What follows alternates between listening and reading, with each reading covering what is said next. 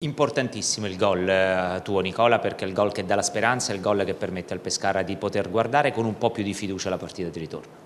Sì, no, era importante uscire da qui almeno con un risultato che non fosse a sfavore perché comunque noi una partita delle due le dobbiamo, le dobbiamo per forza vincere, quindi eh, a noi non, non, non conta se in casa o fuori dobbiamo vincere. Il gol è stato gran parte merito anche di Cernigoi che ti ha dato un gran pallone in una partita che non era stata facile per te.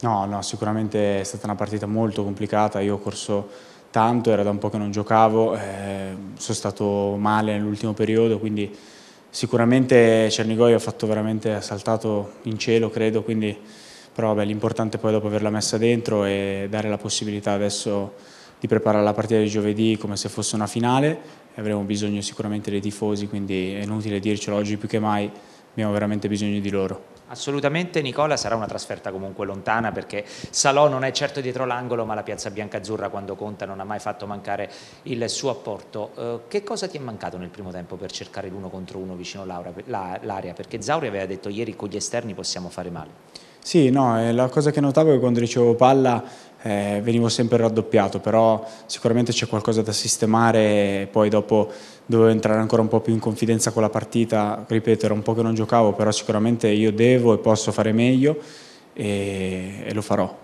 E soprattutto ci sarà la partita di Salò fondamentale dopo un altro gol di Rauti, eh? sarebbe bellissimo. Sì, innanzitutto questo lo volevo dedicare a mia mamma perché comunque come festa della mamma un bacio a lei che siamo lontani e gli voglio bene. Poi dopo lo volevo dedicare anche a mio zio che mi, mi sopporta sempre da, da sempre da quando ero piccolo, mio zio Sandro.